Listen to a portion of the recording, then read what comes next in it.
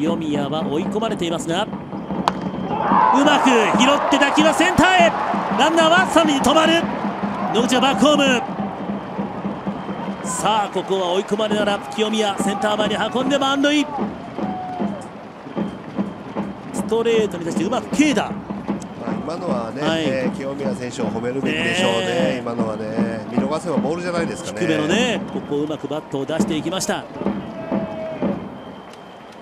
背番号43